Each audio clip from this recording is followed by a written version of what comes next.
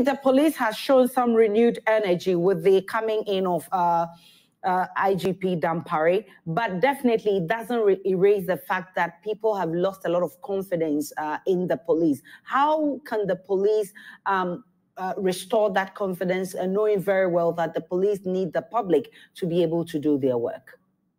Security is a leadership issue and it's a leadership too. I think they must provide leadership. They must be more proactive. They have to be circumspect and taking the bull by the horn, addressing issues that bother on public safety and national security for national sovereignty. It will go a long way to boost the morale of the young people then the community will also begin to trust the police, particularly more who are at the forefront of law enforcement in this country.